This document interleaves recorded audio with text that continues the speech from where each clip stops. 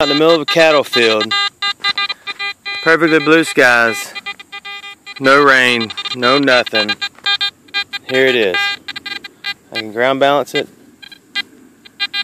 And there it goes again. I turn the sensitivity all the way down and it goes away for a second.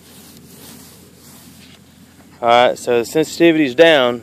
That means I ain't gonna find anything below a couple of inches. So there's discrimination two.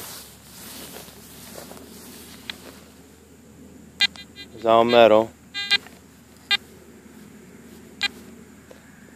Alright, now if I want to go back and have a little bit of something to find, there it goes again. Listen. What the heck? There ain't a power line within a stinking quarter mile of me or more.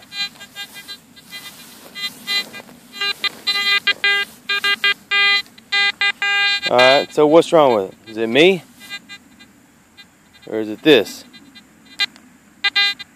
I can change the frequency. Sometimes it works. Actually, it's never worked. Anybody got any ideas?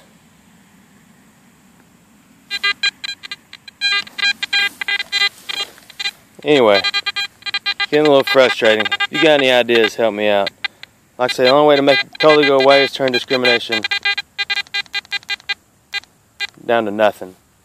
Like I say, then it doesn't find anything, anything at all, that's not laying on the surface. If you got any ideas, let me know.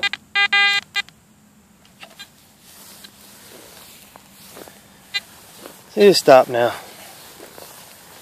I don't understand it. If you got any ideas, please let me know.